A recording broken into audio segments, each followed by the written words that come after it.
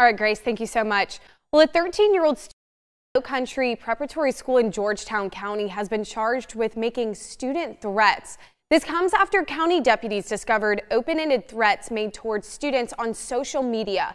Officials attempted to contact that student and their parents at their old plantation drive home, but were not successful. Deputies were at the school on Friday morning when the student and his father arrived and stopped him for questioning. We're told no weapons were found at the student's home. However, charges were filed and the student was released to a parent.